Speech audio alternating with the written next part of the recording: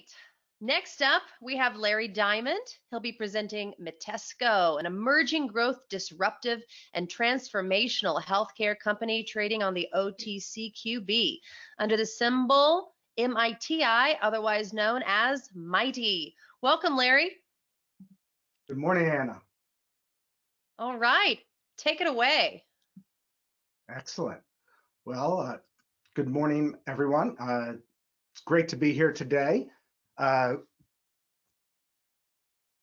Mitesco uh, Corporation um, has been around for uh, since 2009, but was reinvented back uh, in 2019 when I joined the organization.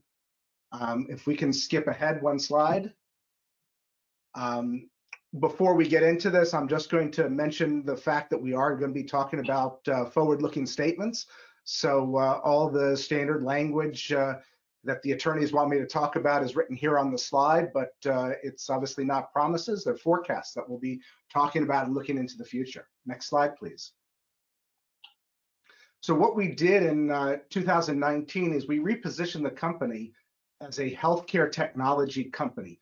Um, my experience with 25 years in healthcare, I've been able to see firsthand how the application of technology has enabled uh, the improvement of healthcare, both from a quality perspective and a cost reduction perspective. Uh, move to the next slide. So with that effort, what we went out to do is to look for businesses that really focus on the consumer. Many of the companies that we've seen here today have been very much focused on the consumer. And why is that? Is because the consumer is incredibly powerful, both here in the United States and abroad. They have raised their voice and said there are certain things they want, and it's the responsibility of the industry to deliver that. Healthcare is unique because it's been controlled by so many other institutions, whether it's the insurance companies, whether it's the hospitals, whether it's the physicians. And consumers in general have become very dissatisfied. We've seen, uh, you know, today healthcare costs from an institutional perspective account for one sixth of gross domestic product. What that means is, is that's just not un, that's not sustainable for any economy, uh, especially the U.S. And so we need innovation and technology. We've seen uh, over the last 10 years, technology has reshaped so many industries, and it's finally ready for healthcare to be reshaped. And core to that reshaping process is improving quality, lowering cost, and adding convenience. So when we look out there and recognizing that we are a smaller entity, we look for um, low cost acquisitions. And then we look at international because international disproportionately are government run healthcare systems. And so they've had to fund a lot of innovation and technology, and but they don't have the opportunity to really get their return on investment overseas. And we see an opportunity to bring a lot of that technology to the US. And by focusing there, we are confident that we can capture the steepest part of the growth curve. Next slide. So part of that process, obviously, is being recognized in the market to have the capital to build this. And this has begun. So if we go to the next slide, what you see here is Mitesco uh, in the first quarter of this year was recognized that we are moving from a pre-revenue company to a revenue company. Our first acquisition, which was the Good Clinic, and I'll dig into that in a little bit, we are now producing revenue in that business unit. Um, the stock price has performed. It's moved from uh, two and a half cents up to uh, as high as uh, 59 cents and gives us a market cap just shy of about $100 million important in that is, you know, we have 187 million shares outstanding, and the investors in the business are a lot of management. Management has invested. We just raised a little over two million dollars through friends and family and restricted shares. And the other piece that when I joined, which was very important to me, was to get rid of the convertible debt that the company had used historically when it was pre-revenue, and we have done that. So all our convertible debt obligations have been satisfied and we are now moving forward. Um, the thing to give you an idea of the shift in stock price and valuation of the company has been very broad. So we went from about 900 investors to now approaching almost 10,000 investors in the last 45 days. So huge response from the industry out there and from consumers recognizing that this is something of great significance. Well, why? You know, when you look at some of the competitors that we have out there, folks like Oak Street Health or uh, One Life Medical, both those companies, one is a $7 billion company, one is a uh, um, $15 billion market value company. These both these companies are not producing profits yet. They're losing money. Why is that? They're growing. They're in growth mode to open clinics. Just slightly different model than what we're doing, but the market recognizes that healthcare is a huge opportunity. There's a shortage of primary care, and so folks are recognizing we have to solve healthcare because it's so expensive part of that has been validated. We uh, we retained uh, Goldman Small Cap Research, who published a research report for us, um, independent research report, but it is paid research. And based upon looking at the data that we have and comparing it to our competitors, they put a two dollar price target uh, on our stock over the next six to twelve months. Next slide. Uh, this this research is available online at their at their website at Goldman Small Cap Research. Next slide. And a couple of things to highlight that I wanted to just uh, bring attention to in there is um, the fact is now that we've cleaned up our balance sheet and strengthened it, we are ready to take the capital that we've raised and will continue to raise to straight line growth of adding clinics. And so with each clinic, revenue increases, membership increases, and our ability to continue on this plan of building the company moves forward. Simply put, based upon what Goldman said, is management has built a better mousetrap. And that better mousetrap is significant. We're going to get into the details of that here in just a couple slides, if we can move ahead. So fundamentally, what we've been able to do to strengthen the position of the organization is first off, um, through long-term shareholders and management, we were able to raise $2 million uh, in res from restricted stock. So it's not stock that can be put out into the marketplace. Um, we've gotten rid of the convertible debt, and we are preparing for an uplist to the New York American is what we anticipate, where we will uplist. We're in that process right now, working with council to get ready for that. And then we are also looking at a possible dual listing in Europe. And um, because we look towards Europe as potential for both revenue for other businesses as well as for sources of capital, that is why we're looking at uh, at the European market as a potential dual listing uh, there. With regards to getting ready for growth, um, we have our first clinic open in Minneapolis. We've also have three LOIs that are signed on additional clinics. One is in Eden Prairie, Minnesota, and two are in uh, in Denver. That's actually with our current landlord, Lennar, which is a very large residential um, developer. They have 52 high-rise developments across the United States, and we're in conversation to partner with those to put clinics inside each of those sites. Additionally, in Minnesota, we have four sites um, that we are in various stages of negotiation for clinics to open up there. And then we'll be looking at, in addition to the Minneapolis marketplace and the Denver marketplace, we'll be looking at Florida and New York as add-on locations for clinics. When it comes to, uh, we can go to the next slide. One more. One more, yeah. So when we look at acquisitions, obviously we have the good clinic in the portfolio at this time. We do have one piece of software which is currently being used in the compounding pharmacies for electronic prescribing. So that is also in the portfolio. But really, what we're looking for in acquisitions is number one, um, identifying primary care clinics that we can roll into the good clinic model. And then looking at all the other spaces within healthcare whether it's uh, personal health apps, telehealth, artificial intelligence, um, all these have the ability to contribute to the efficiency and effectiveness of the primary care clinic experience. And so when we look at acquisitions, we're looking to drive efficiency and effectiveness of the good clinic business. Next slide.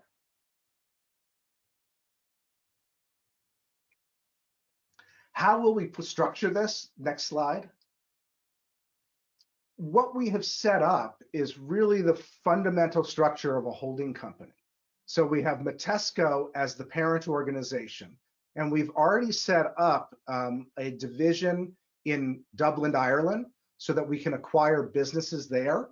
And then we have Mitesco North America, which holds the Good Clinic, and then other businesses that will bring into that business. So we're setting up an infrastructure or blueprint for a holding company that allows us to bring the efficiencies and effectiveness of a holding company to smaller businesses that we acquire and then integrate them across the, the mutual platforms of the good clinic and anything else that we might acquire. But our focus at this time very much is the good clinic and opening and expanding that business. Next slide. So what is the good clinic? Fundamentally, the good clinic is a nurse practitioner led primary care clinic model. Next slide. Why is it timely? It's timely because 81% of consumers are not satisfied with their healthcare experience. And the number one reason, it's not personalized. Most things today in society have always been uh, focused on mass distribution. And healthcare is very different because what makes me different from you is pretty significant. And if a clinician or the healthcare experience or your pharmaceutical rep doesn't adjust to who you are, then it becomes less meaningful and you're less likely to participate. So if we go to the next slide, the other statistics there that are so powerful for what we're doing is that 90% of metropolitan markets have very high density of populations. We're losing rural America. Um, that creates a problem for the country, but an opportunity for a business like ours because we're focused on what 80% of Americans want, which is more convenience. COVID has done some horrible things. It's also done some good things. One of the things is that a lot of us are working at home right now. I'm working at home. And the impact of that is my, uh, the research is showing that my um, my travel patterns are going to shrink by close to 75%. So my grocery store, my pharmacy, my doctor. COVID is impacting the way we live our lives very dramatically. And convenience is paramount to any service that we're delivering. So to that end, next slide. The Good Clinic model is built about a residential concept. Here's the picture of the first clinic in Northeast Minneapolis in the Nordhaus. This is a 600 unit development that's managed by Lennar, a New York Stock Exchange traded company. Um, as I mentioned, they have 52 the, of these high rises around the country. And they also have a lot of single family um, developments around the country. And they're interested in bringing us into each of these because for them, healthcare is viewed as the next breakthrough amenity. We had the gym, you had the movie room, you had the um, community room and the swimming pool. But if in this day and age, having a residential community that is focused on healthy living and improved lifestyle, having a clinic there very much differentiates for them what they're offering to their residents. Next slide. So as I mentioned, you know, convenience and a personalized care approach is key and core to what we're doing. Um, building that community relationship is a big part of what we do because using the community room, we can provide education to residents about how to improve their lifestyle. What are the opportunities to improve their diet, their uh, exercise, their stress levels? Because of this, our approach is focused on wellness. It's not sick care. And so the team that is building this is the same team that took Minute Clinic, which many of you know, from about 19 units up to 500 units in less than three years and sold it to CVS. That team, uh, Michael Howe, Dr. Woodburn, Dr. Hafner, and Dr. Smith, really understand what it means to create a personalized healthcare experience. They understand what it takes to grow a business. And so core to this business is having that wellness visit where visits are pre-planned, similar to what your dentist does, will we anticipate that we will actually be able to, instead of two visits per patient per year, we're going to be able to deliver four to six visits per patient per year. So a much more frequent interaction focused on health as opposed to on sickness. About half of those visits are going to be virtual visits, short check-ins against the plan that was co-created with the consumer and checking in to make sure that they're having success. And if there are barriers, how do we break those barriers? That helps us in reducing the um, reducing the cost of interaction for them. It allows us to increase our revenue. We are doing a integration of new, um, Eastern and Western medicine. So it's uh, we'll have nutraceuticals, vitamins, supplements, essential oils, and for patients who are focused on uh, having a broader approach to their health, we'll be able to supply those uh, products to them. And as a result, the average revenue per visit will actually increase as compared to other types of um, primary care practices. Because we're partnering with the, because we're partnering with the building um, and the residential and the developers, we will be able to build our panel of membership faster than is typical because they're helping us cross promote inside the building and then also in the community. And again, technology is core to what we're doing to be there on a just-in-time basis, creating that personalized experience. We have the medical record. And so when someone does get sick and they need to have an intervention, need an antibiotic or something like that, we know, unlike retail health, their situation and can give the best medicine right from the start. Next slide. So I just wanted to highlight a couple things that I believe are core is, is the low cost client acquisition. This is really key, focusing on the high density in cities and these residential centers and focusing on healthy living. Um, next, it's the look good and feel good. We've expanded the scope of primary care. So we're including basic behavioral health, we're including nutraceuticals, and we're including basic um, dermatological services. So really being able to offer a broader approach for folks that are looking to stay healthy and stay vital and improve the quality of life that they have. And technology, we will deploy technology when it's necessary, whether it's monitoring technology, whether it's a pedometer to track uh, exercise, we'll have those technologies to implement when a patient needs those. Why nurse practitioners? Nurse practitioners, probably many of you today already see a nurse practitioner when you go to, um, to your primary care provider. Nurse practitioners are 89% uh, of them, I believe the statistic is, are already certified in primary care. Today, medical schools are just not graduating enough doctors to meet the demand. The AMA says we're short by about 25,000 primary care providers in America. What does that mean? It means that our competitors and us have plenty of room to provide services and not bump into each other. The market is huge and there's a significant opportunity and a need to be filled. The other piece that's core to what we're doing is making sure that we can build out these clinics quickly in our build. Obviously, as you're building your panel, you're experiencing negative cash flow.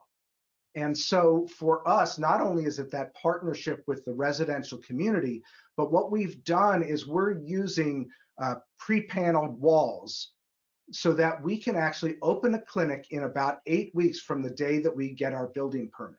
So we're shorted, shortening the time it takes to stand up a clinic.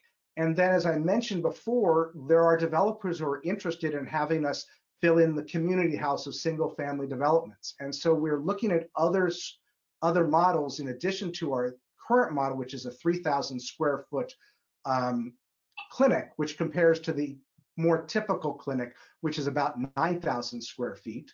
We're actually looking at much smaller clinics, potentially 1,200 square feet, and even smaller to go in as a telehealth clinic into single family uh, developments. So we're looking at all the possibilities of how do you get to where people live to be there on a convenient basis, in addition to using telehealth technology when and be there when the person needs us most.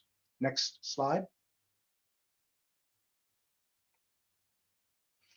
So core to what we we talk about is our, our um, expertise, education, and empathy.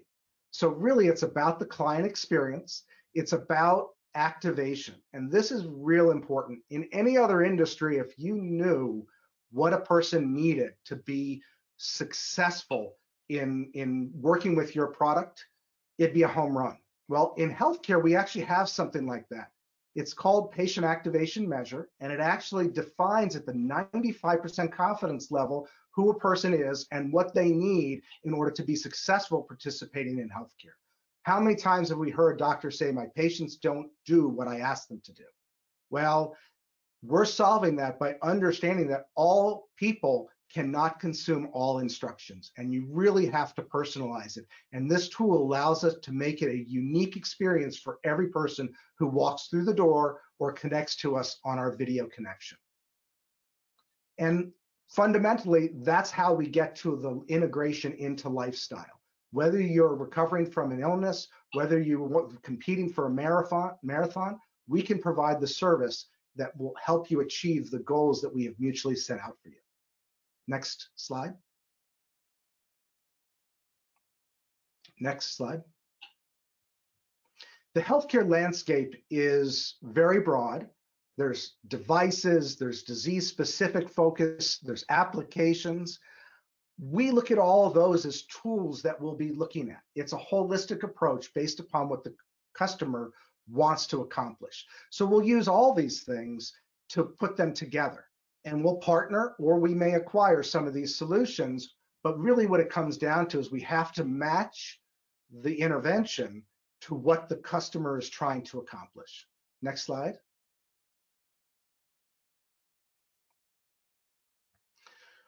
Core to what we're doing is, is having that medical record and making sure that we are delivering to that patient. Telehealth only, that's great. It's focused on sick care. And when you need that, it's phenomenal. Ready Health has been a great solution for the country in solving a lot of problems of access because of the shortage of, of primary care providers. Concierge medicine, if you can afford it, it's great. Our approach is, is we will work with consumers, whether they have insurance on Medicare, Medicaid, they want to pay for it out of pocket. Um, we will work with everybody and we will work whether it's covered by insurance or if you want to buy something out of your own pocket we're going to uh, focus on a plan that is co-developed and we're going to deliver to that based upon what the customer wants because the customer is king here. Next slide.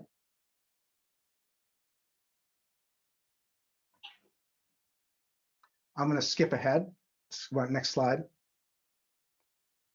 So let me introduce the team at the Good Clinic. We'll go ahead one more slide. Michael Howe has a very rich experience. As I mentioned, all the folks here were at Minute Clinic. Many have been involved in many early stage companies and have brought them to significant commercial value and sold them off. Uh, Michael comes out of P&G and out of Minute Clinic and um, several other Verity brands, understands the consumer and the importance of how you package up a service to meet the consumer need. Dr. Hafner Dr. Smith and Dr. Woodburn all have deep experience in healthcare and really add depth and understanding to what you have to do in order to deliver tremendous value to the consumer in their healthcare journey. Next slide. The team at Mitesco, one more slide. We've assembled a board of directors um, of international recognition. Um, you know, uh, Ron Riewold has been the CEO of several public companies, been very successful building and, and monetizing the value for his shareholders. Tom Brodmerkel similarly has worked at some of the largest healthcare institutions in the country, has built companies and sold them off. Dr. Um, Faraz Naqvi, Harvard-trained uh, physician, sits on the board over at uh, University of Colorado Medical Center. Um, he actually is one of the most successful uh, um, portfolio managers in healthcare and is there to help us uh, again advise on building this business. And then uh, Juan Carlos Iturregui, um, he has served two uh, administrations, both Democrat and Republic, helping to build uh, uh, good uh, business relationships with internationally. So we bring a huge breadth of experience on how we build this company um, to grow much bigger than it is. It's unusual to find this kind of team that's put together. Um, and it's, you know, for a lot of the advisors that we've been talking to on best capital structure and how to raise money, really wanted us to take the business private with the with the good clinic here as the engine. And we believe it's for all our shareholders to benefit. We've had shareholders that have been here for a long time and they deserve to get the right the kind of return. Everyone on the team and management team is invested in this business and we will all uh, benefit as a result of growing this business at a significant rate. Next slide. Again, you will be able to download this. You can see uh, some of our advisors that we have here, who we are, some of the statistics on the stock. And I believe that is the conclusion. We have a couple minutes for questions. Yes, thank you so much, Larry. All right, we do have three questions from our audience. Uh, what is the estimated time frame for the uplist? Um, so we're working on the uplist right now, and the um, we're looking to be able to achieve it before the May timeframe. I guess is the best way to put it. Okay. And would you guys be looking into acquiring more clinics in North America to expand faster? Um, that is core to what we're doing. I think Michael Howe is on the phone right now as well. He is the CEO of the Good Clinic. Michael, are you there? He's not there. Okay. Um, so our plan right now is we are going to build both de novo, so brand new clinics, but we are also looking to acquire clinics. And we would then over time convert them into the good clinic model. So when we talk about opening 50 clinics over the next uh, three years, based upon acquisitions, we would hope uh, and plan to exceed that number based upon the availability and reasonable price of acquiring clinics in the marketplace. Okay, last question. Great question for all of these companies. If you had unlimited funding, how fast could you expand your business? Wow, that's a great question. Um, you know, at this point, I think the best example is what uh, the Good Clinic team did at Minute Clinic, going from uh, going from the uh, 19 clinics to 500 in, in under three years. You know, our partnerships with Lennar, they already have 56 locations they'd like us to go into. We have another developer that we're in negotiations with for something similar. So, you know, for us, you know, to get to 250, you know, 300 uh, clinics over the next five, uh, five to seven years probably is a very doable number with unlimited funding. All right, Larry, thank you so much for presenting Mitesco. It definitely is a mighty endeavor. Very much looking forward to seeing all your updates. Great, thank you, Anna. All right.